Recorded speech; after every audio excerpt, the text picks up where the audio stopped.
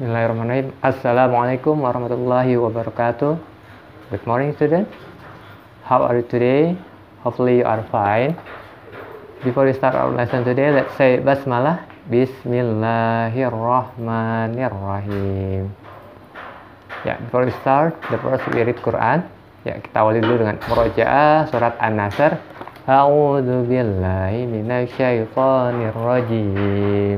Bismillahirrahmanirrahim.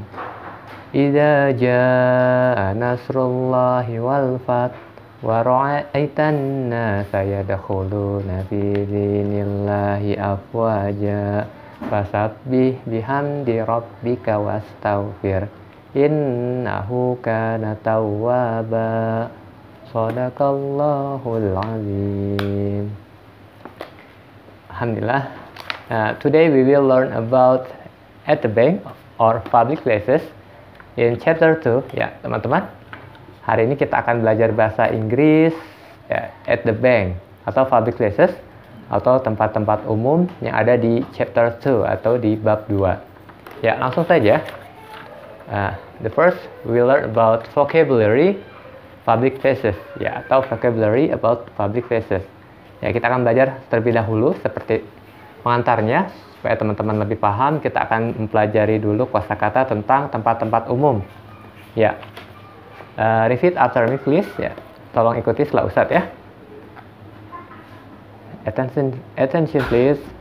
At first post office artinya kantor pos mall mall atau pusat perbelanjaan hospital rumah sakit mosque Ya, meski itu dia ini ya, masjid ya.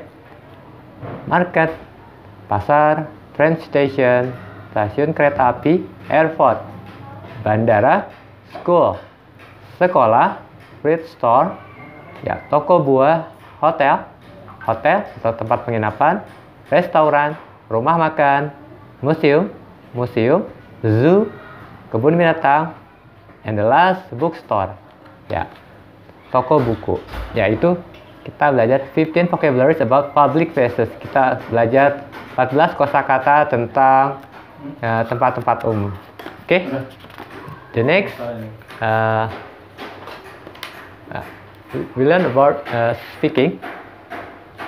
Ya, kita akan belajar tentang kemampuan berbicara atau speaking. Ya, part A read the text and practice in front of the class. Ya, uh, teman-teman tolong dibaca teksnya dan dipraktekkan. Ya ini ya di rumah ya. Kalau di sini kan di kelas tapi kalau ini dengan PJ seperti ini di, di rumah masing-masing. Nah di sini ada conversation between Ahmad and Firman.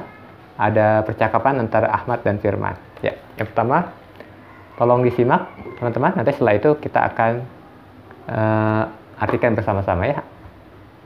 Oke, Ahmad, Assalamualaikum. Good morning, Firman. Firman, Waalaikumsalam. Good morning to Ahmad. Will you go to play badminton this evening? Yes, I will. So, what the properties usually you bring? I usually bring a racket, shuttlecock, beer badminton cloth.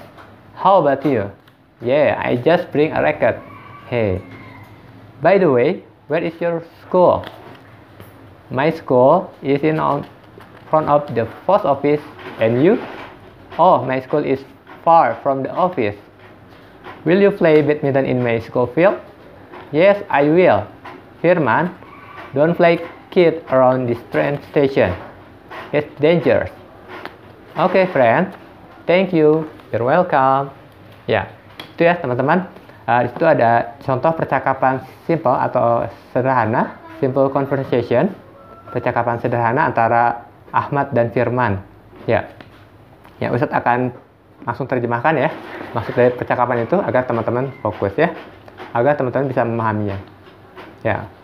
Nah, selanjutnya Ustadz akan e, membacakan versi bahasa Indonesia-nya atau terjemahannya. Tolong disimak Ahmad Assalamualaikum. Selamat pagi Firman. Firman Waalaikumsalam. Selamat pagi juga Ahmad. Ya. Maukah kamu bermain badminton sore ini? Ya aku mau tapi uh, apakah kamu sudah membawa peralatan untuk bermain bulu tangkisnya? Saya biasanya membawa sebuah raket, kok, memakai baju badminton. Bagaimana dengan kamu? Ya, aku juga membawa raket. raket. Hmm, ngomong-ngomong, uh, di mana sekolahmu? Sekolahku berada di depan kantor pos. Kalau kamu? Oh, sekolahku berada jauh dari kantor. Kantor.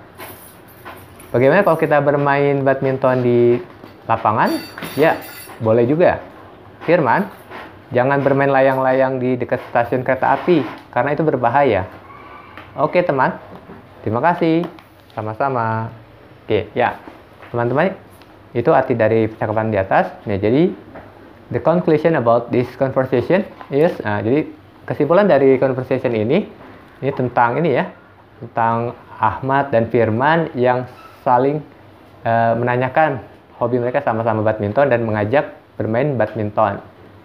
Oke, okay, uh, that's enough for all lesson today.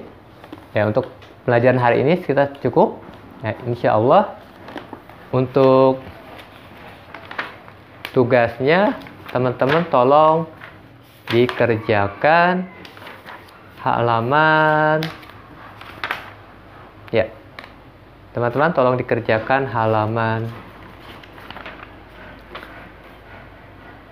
Ya halaman 19 tolong dikerjakan halaman 19 dikumpulkan via link Google Form yang akan saya berikan. Oke. Thanks for attention. See you next week. Assalamualaikum warahmatullahi wabarakatuh.